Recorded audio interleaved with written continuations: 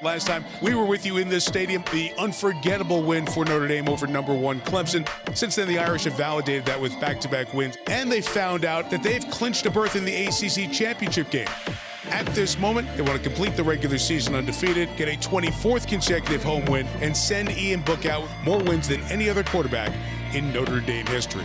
Looks like I'm back to my ways, back to my ways, back to my ways, back to my ways. Truth be told, I'm back to my ways. Back to my ways. We're on road. Back to my ways. I'm back to my ways. Thought I was turning the page. Yeah. I'm back to my ways. McKinley ruled, breaking the play. Blitz coming. Ball comes out. Two. Picked up by Marist. Liufau. McKinley goes up and gets it. Dominate the third quarters. Everybody got the message. Sure. So defensively, we go out and dominate it right now. All right, let's go play. He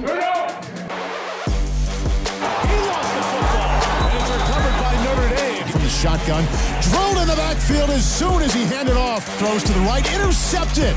Intercepted by Daelin Hayes. There were a lot of nice individual performances. I want to start with Javon McKinley's performance. I think Kyren, you're lucky that you got to a thousand yards tonight. But the one thing that I wanted to bring up is the all-time winningest quarterback in the history of Notre Dame. With 30 wins accounted for five touchdowns today. Game ball goes to Ian Book. Notre Dame closes out a perfect regular season.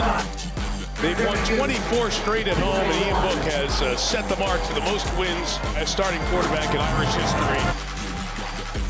Yeah, I love you guys, man. We can see, you know, what's in sight for us. We got a few left. Let's go, man. I, I appreciate you guys. I couldn't do any of this without you, so here we go.